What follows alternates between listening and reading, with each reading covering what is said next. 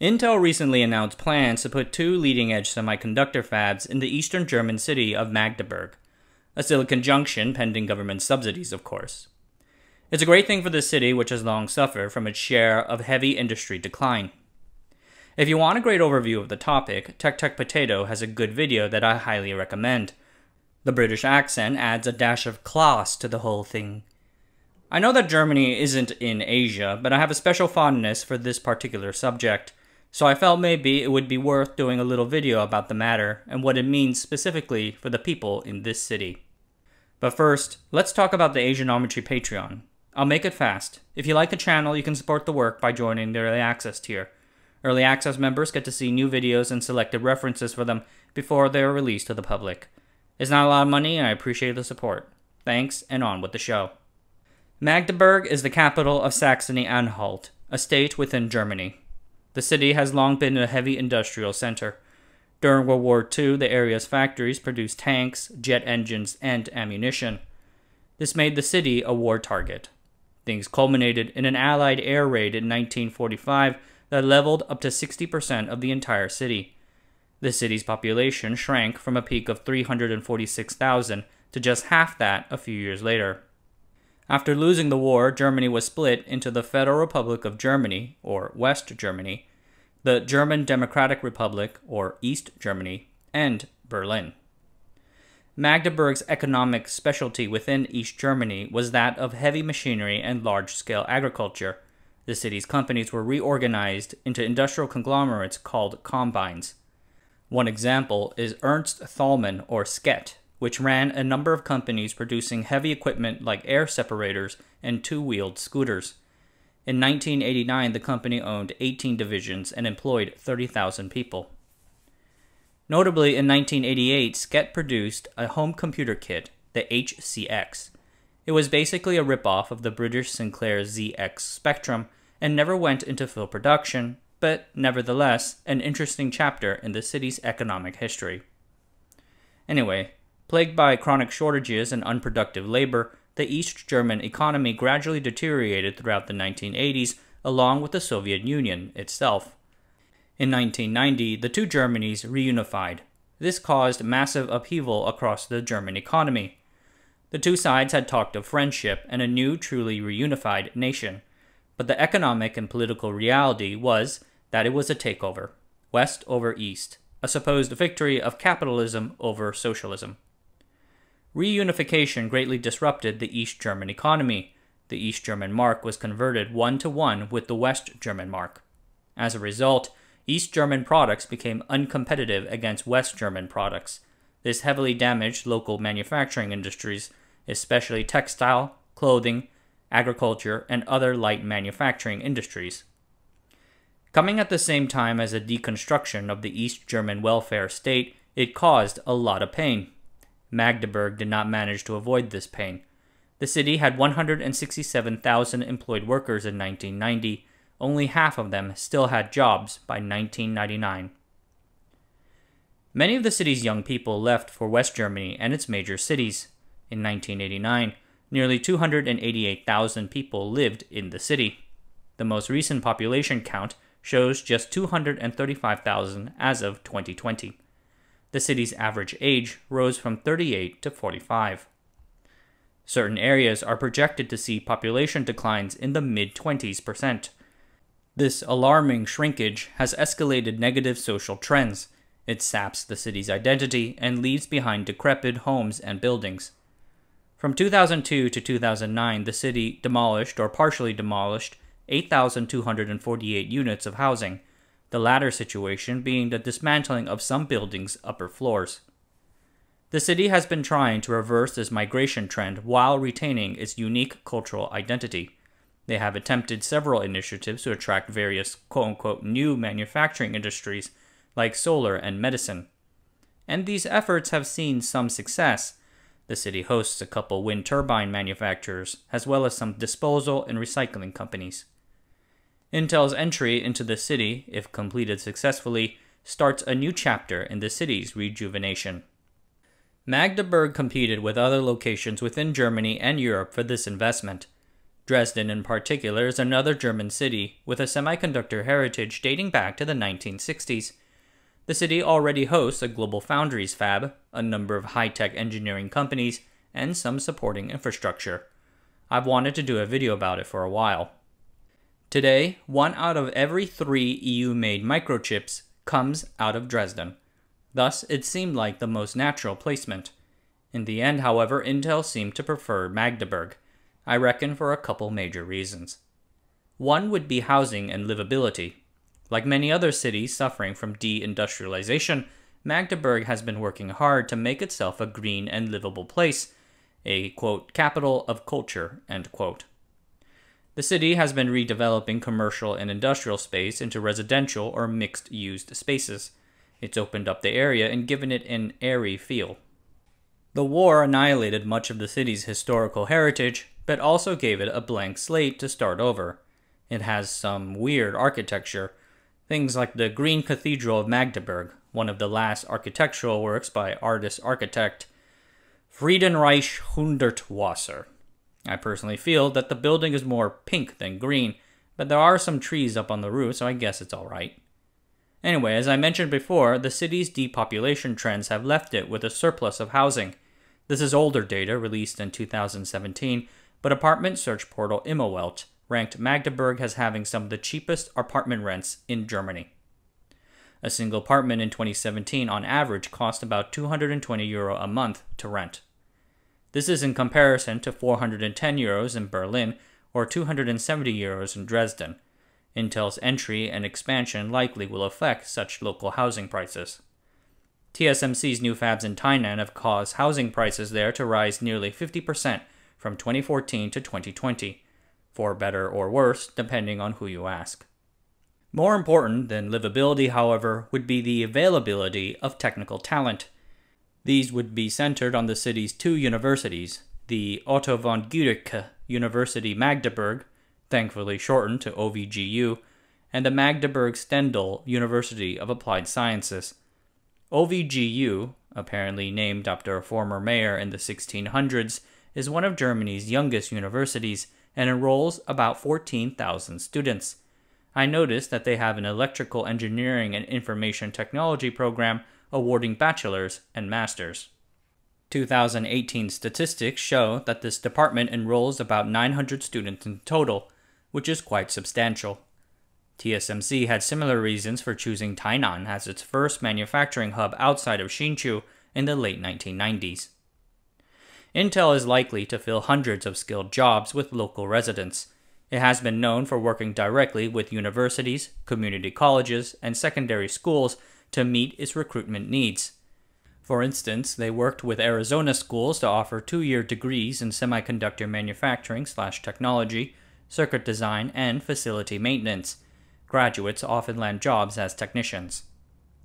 Intel immediately becomes the city's most prominent employer. I believe they will be able to recruit with ease, especially since they don't have to compete with companies like GlobalFoundries. For more specialized towns, the city has worked hard to attract those too. Magdeburg hosts several dozen research institutions and innovation centers. It also has a science park of its own, the Science Port, for companies seeking to relocate there. To close on this particular item, let's take a look at the semiconductor industry's impact on a place dear to my heart, Tainan. TSMC turned what had once been a sugarcane field outside the 400 year old Tainan city into a sprawling tech ecosystem. The Tainan Science Park today hosts the company's flagship fab, Fab 18, with its leading edge N5 and N3 processes. Fab 18's construction brought 4,000 permanent jobs to the area, with the company directly employing 20,000 in total. They also extended its supplier ecosystem to Tainan, the most prominent of which is ASML, which opened up one of their EUV training centers in the area adding 500 R&D jobs. The existence of a massive technology center has brought supplementary jobs to the area too. McDonald's opened up there in 2012, followed by KFC, Starbucks, and a variety of coffee shops. There are also a few international schools in the park. Foreign faces regularly frequent the areas. The technology park's presence has successfully raised the area's education rates, household incomes, and expenditures, and, as I mentioned earlier, land prices. Most hearteningly, per the director of the local administration bureau, the percentage of local university graduates staying in the area after graduation has doubled. In 2005, Intel announced plans to build a new 45 nanometer fab, Fab 32, in Chandler, Arizona. It went online about two years later in 2007. That was a massive undertaking requiring 75 miles of conduit, 19,000 tons of steel, and $3 billion. Intel worked very closely with the city to acquire all the right permits with almost no opposition. Based on what we've learned from the big announcement, this new factory is going to be a similarly massive undertaking. The city administration is going to have to carefully and diligently work to accommodate and make it a win win for both people and company. Water issues are a critical flashpoint in community relations. In 2014, Indian officials ordered a Coca Cola plant to close for using too much water. This is despite the company presenting what it felt was sufficient data that it was not impacting or straining local water supplies. The River Elbe winds through Magdeburg and is very large, with a catchment area spanning nearly 150,000 square kilometers. This river, however, is shared by the 3.1 million people living in the multiple cities, states, and countries along its banks, which complicates things. You can't just suck out of it like a milkshake. In the 1990s, the river was extremely polluted due to direct discharges from heavy industry. Things have improved since then, but the soils still show considerable amounts of mercury, arsenic, and other heavy metals. Magdeburg's water supplies thus largely comes from various groundwater sources in the unsettled landscape areas of and I'm going to butcher these names, but I googled this and I'm not German, so be gentle in the comments. Kolbit Letzlinger Heide and West Fleming, augmented with mountain water from the Harz Mountains. For this reason, the drinking water is generally pretty good. Apparently, the region used to host a thriving beer industry a long time ago due to the high quality of its water. Their local water utility notes that they deliver about 40,000 megaliters of water annually to the city through hundreds of kilometers of pipes. 12% of the water is purchased through long distance sources. Semiconductor manufacturing is immensely thirsty. This is due to the constant use of ultra pure water, a critical chemical for certain manufacturing processes like rinses, chemical dilution, and immersion lithography. Water usage per wafer depends on the sophistication of the process, as it is correlated to the number of wafer layers the factory has to do. For instance, in 2005, it was reported that it took about 3,300 liters of ultra pure water to make one wafer. There is roughly a 95% conversion rate of raw water to ultra pure, so that's about 3,500 liters of raw water. These numbers refer to an older 65 nanometer process, which had 8 to 10 mask layers. Today's 5 nanometer processes have 10x that number, I don't believe that the numbers scale up one to one, but it is something to think about.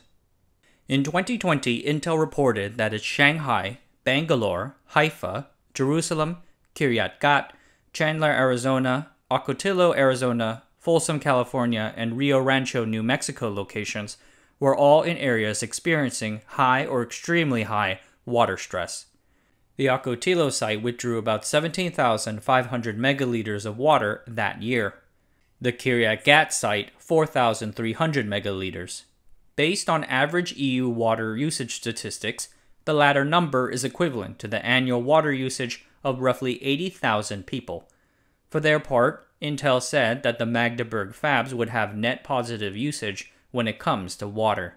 On the other side of the coin, another significant water challenge has to do with the wastewater being returned after usage fabs discharge a significant percentage of their water back to the local municipality. Depending on the procedures that made them, semiconductor wastewater can have high levels of heavy metal ions, acids, and alkalines known to cause harm to the environment. These need to be treated with reverse osmosis filters, chemical deactivators, and solid liquid separation procedures. When done right, treated semiconductor wastewater is cleaner than the raw water at the start of the whole process. However, information on this topic and its full risks is difficult to review because often any data linked to manufacturing processes and complexities is classified as a trade secret. If things go well, then the new Magdeburg fabs will reverse the depopulation trend in the city for good, but it might also contribute to the city's worsening car and traffic problems. The city sits at the junction of several European transport motorways like A2 and A14. The presence of the River Elbe and its various canals also adds substantial freight traffic. The city, however, doesn't rank in the top 10 German cities with the worst traffic jams, yet. Some 50% of residents use its pretty extensive public transportation network. Right now, that network has 10 daily lines running 100 plus trams with more apparently on the way. TSMC commissions a large number of buses to commute their technicians to their fabs, but Tainan still deals with massive traffic jams three times a day. And it is a bit telling to me that in renderings of the future Intel fab, there's massive parking lots surrounding the factory. Of course, all of this depends on the release of substantial national government support through the EU CHIPS Act. Now, is it prudent national fiscal policy to be doling out billions to a $200 billion American company? And for a factory that's otherwise unlikely to ever make back the money? Who knows? But it seems like the decision has already been made. Regardless, this is a great thing for the citizens of Magdeburg, many cities have had to face the challenges of deindustrialization. The city chose to invest in human capital, building out a great place to live, and now has had the fortune to attract a prime free agent. I look forward to seeing Intel supercharging the city's local manufacturing ecosystem. There will be lots of work and new challenges ahead, but it's a great start. Alright, everyone, that's it for tonight. Thanks for watching. Subscribe to the channel, sign up for the newsletter, and I'll see you guys next time.